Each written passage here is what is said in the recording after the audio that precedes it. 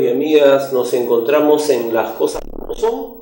Esta semana eh, Federico Arnillas no va a estar con nosotros, pero tenemos a un invitado eh, con quien vamos a tener una interesante conversación. Él es Richard Chase Smith, director ejecutivo del Instituto del Bien Común. Richard, un gusto estar contigo. Muchas gracias. Buenos días. Eh, el Instituto del Bien Común, junto con otras instituciones, eh, CEPES, también el CAPES, ha participado, CAP, la Coordinadora de SER. Derechos Humanos, Sí. el SER, eh, han lanzado una alerta en relación a una de las normas que, que se han aprobado en el marco de el llamado paquetazo ambiental, que fue el nombre que se le dio, paquet- paquetazo Castilla también se le llamó, eh, y que no había sido destacada cuando recién se aprobaron las normas, ¿no? pero en la revisión se encontró que el título 3 de la ley 3230 podría afectar o estaría afectando los derechos de comunidades campesinas y nativas. Richard, ¿cuál es el problema con esta, esta norma aprobada en el marco de este paquete que ha afectado a tantos sectores? Bueno, problemas hay, eh, hay muchos. Eh, para empezar, la manera como fue aprobado. Fue presentado fines de junio, cuando empezó el Mundial, cuando el Congreso no estaba en sesión.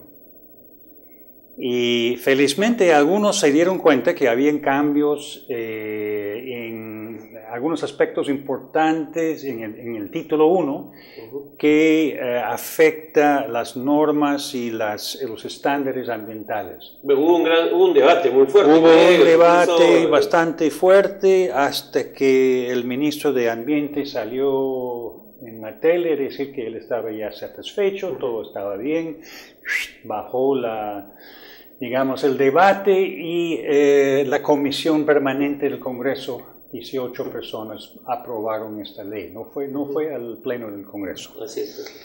Este, y en ese debate, ese debate era sobre el título 1.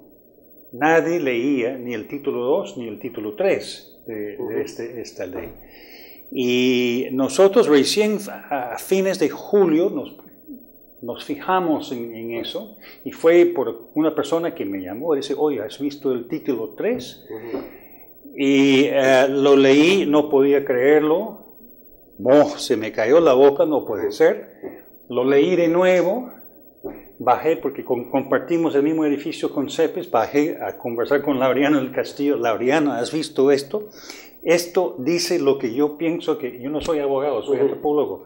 Lo leyó y dijo, sí, esa es una bomba. Ahora, en concreto, para, En concreto. para, para comentarle a los, a los espectadores, ¿cuál es el, el- el tema, cuál es el, aparte que no fue consultado, no fue Claro. debatido, eso es clarísimo, no ha habido transparencia, ¿en qué afectaría esta norma a las comunidades campesinas y nativas?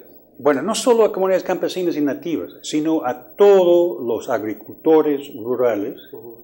Eh, Todo aquel que tenga una propiedad, digamos. todos que tengan, yo, me afecta a mí.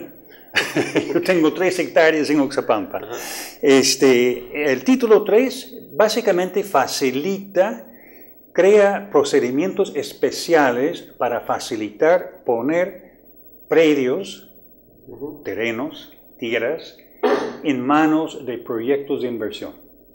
Ok. La única distinción no define predio, la única distinción que hace es que hay predios de particulares y hay predios del Estado. ¿ya? Entonces, entre predios de particulares y predios del Estado están todos los predios del país. No hay ninguna excepción. ¿no? Y aparentemente in- incluye predios urbanos también. Porque Ahora- no, no está especificado. No está especificado, pero sea- eso es consciente.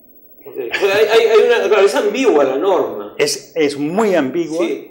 pero para mí esto es intencional.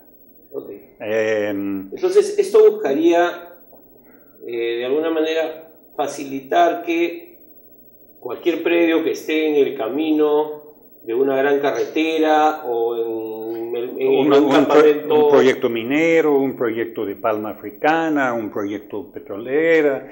Este, Pero, eh, pero ¿cómo, cómo, cómo es que ese predio que es una expropiación? ¿Qué- ¿Cuál es el proceso? Lo único que dice es procedimientos especiales.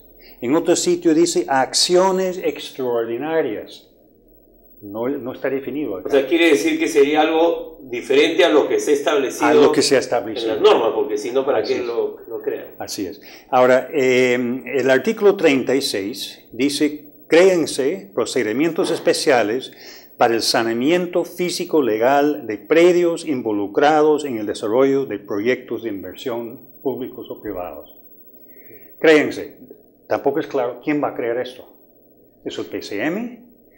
¿Es, ¿quién, quién, quién va a crear estos? Claro, porque en el caso del saneamiento, es- Ya hay, ente un- rector- hay hay un ente ente rector, rector claro. a nivel nacional que, que es el Minagre, que se, se creó, se nombró por ley en 2013. Este, acá no hay ninguna mención de Minagre.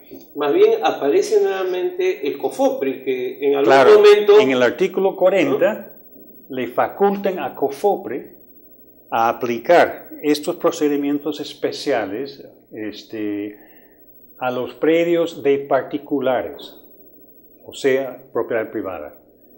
Cuando un proyecto de inversión requiere un área que incluye propiedades privadas, comunidades campesinas, comunidades nativas, este, predios de, agricultores, eh, es eh, COFOPRE que tiene la facultad de demarcar los que se necesita, hacer los trámites y pasarlos al proyecto de inversión. Pero se supone que esa tarea eh, ya, ya se le había quitado a COFOPRI, digamos, para, para el saneamiento, porque en algún momento el gobierno de Alan García se le entregó esa, esa facultad cuando absorbió el PET. Después eso revirtió a agricultura. Claro. No, o sea, es un retroceso a ese, a ese momento. Bueno, otra vez es una confusión, porque eh, al, al dar este, este, este facultad de eh, sanear físico- eh, física y legalmente a predios, están cruzando con otra institución del Estado que tiene la misma facultad. Entonces están creando, entonces uno puede imaginar Minagre avanzando en su titulación y atrás viene Cofopre para quitar lo que han titulado para pasarlos a, a proyectos de inversión. O sea, es, es, un- es una locura. Eh, Richard, tenemos que hacer un corte y vamos a volver en la segunda parte para que nos cuentes además eh, qué, qué- qué se puede hacer frente a esta situación que se está denunciando. Volvemos.